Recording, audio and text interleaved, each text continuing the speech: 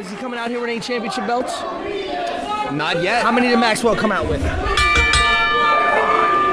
How many did Maxwell come out with? Maxwell came out with three, but I think he's a four-over champion. Okay, four title belts. Came out with three. He's a four champion. Uh, Dominic Garrini. Any, any title belts? No, right? Uh, uh, it doesn't matter. Oh my God! Triangle choke, and that's it! Garrini wins with a triangle choke.